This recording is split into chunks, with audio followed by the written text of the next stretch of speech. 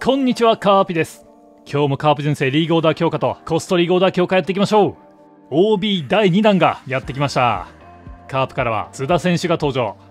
これを待ってました。待望の津田さんですね。はいこれは将来のコスト650リーグ想定オーダーなんですがこの津田さんの現突用の A ランク確保するチャンスですね。おそらく来週狙い撃ちガチャもあるでしょうから8000枚ぐらい集めておきたいですね。続いて津田さんのリーグオーダーへの影響について。薮田さんと交代してスピ100アップですね。ではガチャに行きましょう。それでは OB2 段ガチャ。30連確定までいきましょう。10連目。はい。おお S 引けちゃいました。津田さんかな？いや津田さん来てくれたのはマジでありがたい。約2年後にコストリーグのオール S ランクオーダー組めるように計画してるんですけど津田さんはずっと主力張りますからね。素材はいくらあってもいい。さあ自チーム演出はありませんが。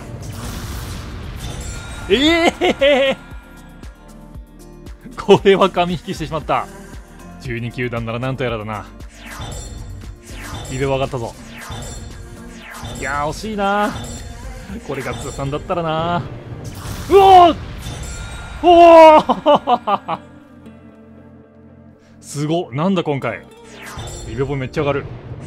ありがてえありがてえ。いやーこれ逆だったらな。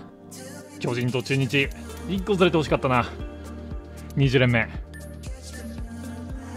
はい。ところで7周年福袋。ええー、マジかまた？今度こそか。こっちが津田さんか。さすがにないと思うが。OB 引けてほしいな。リベボガンガン上がってほしい。今回イベントリソーサスからね。